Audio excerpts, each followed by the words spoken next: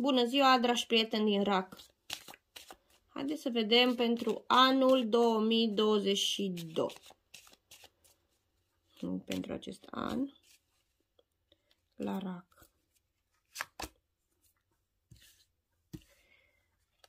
Ianuarie, februarie,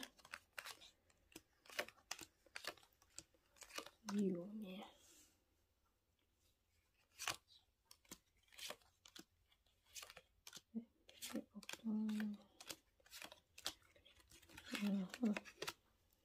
Bun. O să aveți un an cam sensibil. Da? Deci stelele, sensibilitate, pot să însemne. Sensibil începeți așa... Uh,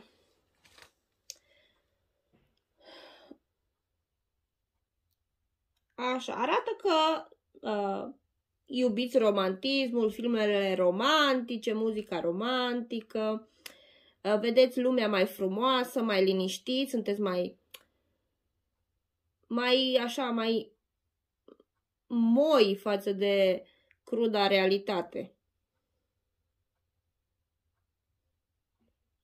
Deci anul ăsta o să fiți și mai visători decât sunteți de obicei.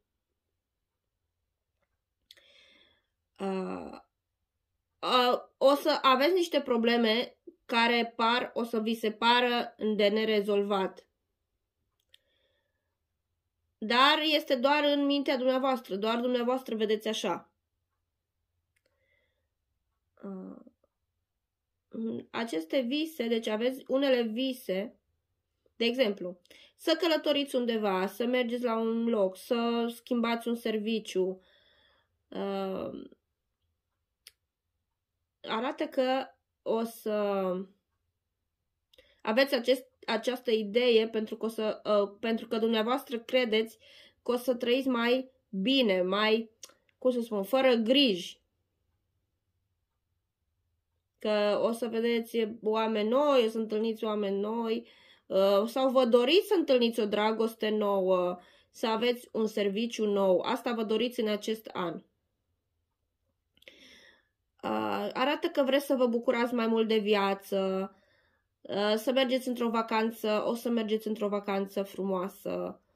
Cel puțin asta vă doriți și faceți planuri.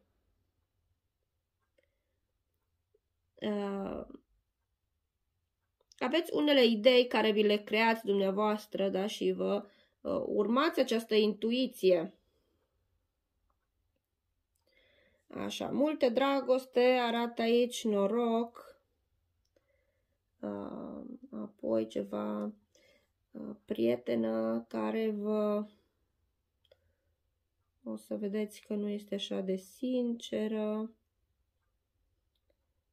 Uh, apoi arată că sunteți preocupați, vă îngrijorează ceva de uh, pentru ceva juridic, poate fi ca, sau, sau altceva, ceva ce vă este greu și cred cereți ajutor uh, și o să vă ajute cineva. Apoi apelați la un terapeut uh, și o să întâlniți pe cineva în care puteți avea încredere și care uh, o să vă ajute să descoperiți sau să descoperiți un secret și o să vă descoperiți multe lucruri care o să vă ajute.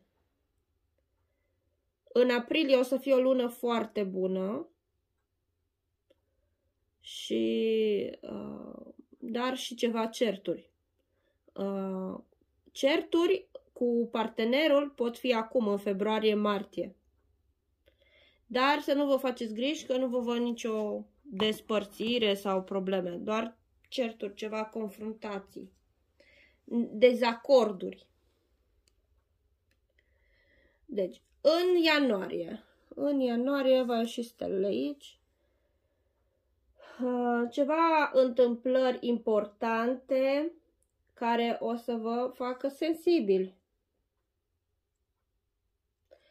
O să aveți rezultate foarte bune, invitații, noroc, vedeți? Uh, momente foarte bune, frumoase investiții care vă aduc bani, succese. Asta o să aveți în ianuarie. În februarie, iarăși, succes pe orice. Deci, uh, asta uh, creștere, dacă aveți acțiuni undeva, dacă aveți ceva investit, cresc banii, uh, afaceri importante care vă aduc foarte mulți bani. În dragoste, mult noroc o să aveți, deși unii nu vă gândiți la dragoste. Uh, apoi, în martie arată, o să întâlniți o, per o persoană inteligentă, o persoană minunată cu care o să aveți o familie, o dragoste, mult noroc, mult noroc în familie, în dragoste, uh, mulți oameni în jurul dumneavoastră, familie care vă ajută, în care puteți avea încredere. Uh, apoi arată întârzieri în aprilie, ceva ce vă, o să depuneți mult efort, neliniște, uh, ceva ce trebuie să lucrați extra sau sunteți ocupați, uh, ceva întârzieri, frustrații la serviciu sau în afacere. În mai o să aveți, uh, o să cereți ceva clarificări, poate la serviciu, la partener, Uh, și arată că uh, parcă încercați să rezolvați o problemă sau să discutați, să vorbiți și nu reușiți, unii nu reușiți și arată o despărțire în iunie sau uh, nu mai sunteți siguri pe acea persoană prin iunie. O lună foarte grea iarăși în iunie.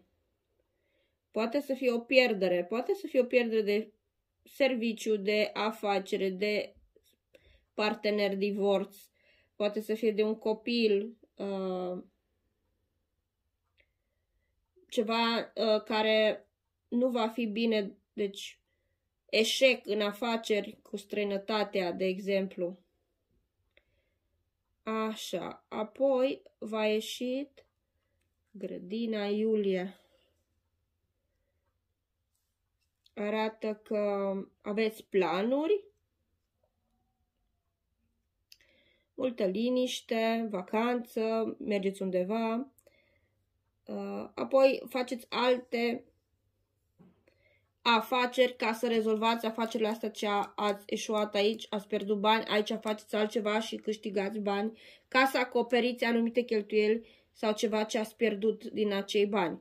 Apoi, iarăși vă, vă fură cineva banii. Uh, apoi neliniștea, uh, o să aveți iarăși liniște în, în uh, dragoste după o perioadă grea, deci sau după o despărțire o să aveți pe altcineva sau iarăși vă împăcați.